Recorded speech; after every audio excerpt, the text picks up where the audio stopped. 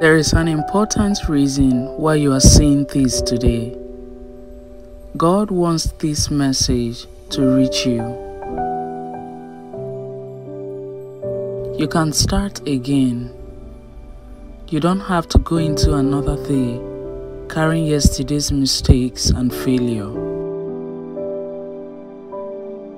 We serve a God whose mercies are new every morning but it requires you being intentional, giving yourself second chances, and not writing yourself off.